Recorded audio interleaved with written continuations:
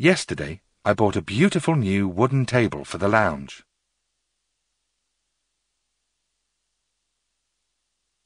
We had some delicious hot Italian soup to eat in the restaurant. I saw an unusual old glass bottle this morning in a shop.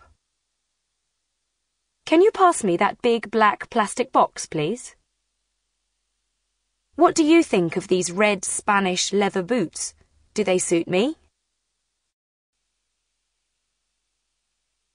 Simon really likes beautiful old Japanese paintings.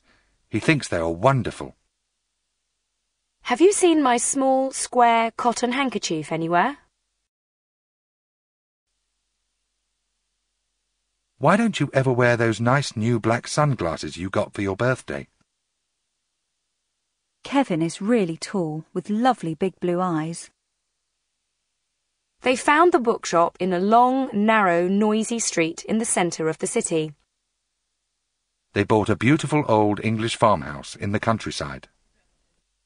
Oscar was a large, young, black dog with lots of energy. It is very frustrating when the computer you are working on crashes all the time. We felt very proud to have the President stay in our hotel. Why does John look unhappy? His bike was stolen yesterday.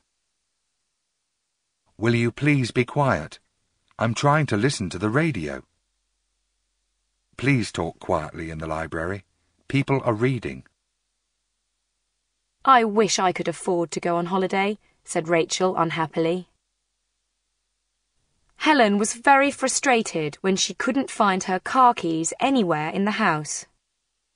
Our local football team played badly last month. They lost every match. This apple tastes bad. How old is it? Jason has a good voice. He can sing very well. Dan was tired after a long day at work, so he went to bed early. The ground looks wet this morning. I think it rained last night.